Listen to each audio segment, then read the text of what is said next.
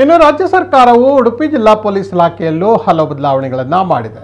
ಹಲವು I P ಎಸ್ಗಳ ಅಧಿಕಾರಿಗಳ ವರ್ಗಾವಣೆ ಮಾಡಲಾಗಿದೆ ಉಡುಪಿ ಜಿಲ್ಲೆಯ ಎಸ್ ಪಿ ಹಾಕೆ ಅಕ್ಷಯ್ ಮಚ್ಚಿಂದ್ರ ಅವರನ್ನ ವರ್ಗಾವಣೆ ಮಾಡಲಾಗಿದ್ದು, ಉಡುಪಿಯ ನೂತನ ಎಸ್ ಪಿಯಾಗಿ ಡಾಕ್ಟರ್ ಅರುಣ್ ಕುಮಾರ್ ಅವರನ್ನ ನೇಮಕ ಮಾಡಲಾಗಿದೆ. ಡಾಕ್ಟರ್ ಅರುಣ್ ಕೆ ಅವರು ಕಲಬುರಗಿ ಎಸ್ ಪಿ ಹಾಗೂ ಪೊಲೀಸ್ ತರಬೇತಿ ಕೇಂದ್ರದ ಪ್ರಾಂಶುಪಾಲರಾಗಿ ಸೇವೆ ಸಲ್ಲಿಸುತ್ತಿದ್ದರು. ಉಡುಪಿಯಿಂದ ವರ್ಗಾವಣೆಗೊಂಡಿರುವ ಎಸ್ ಪಿ ಹಾಕೆ ಅಕ್ಷಯ್ ಮಚ್ಚಿಂದ್ರ ಅವರಿಗೆ ಜಾಗ ತೋರಿಸಲಾಗಿಲ್ಲ. ಹಾಗೆ ಕರಾವಳಿ ಭದ್ರತಾ ಪಡೆಯ ಪೊಲೀಸ್ ವರಿಷ್ಠಾಧಿಕಾರಿ ಅಬ್ದಲ್ ಅಹದ್ ಅವರನ್ನು ಬೆಂಗಳೂರು ಪೊಲೀಸ್ ಕೇಂದ್ರ ವಿಭಾಗದ ಡಿಸಿಪಿಯಾಗಿ ವರ್ಗಾವಣೆ ಮಾಡಲಾಗಿದೆ.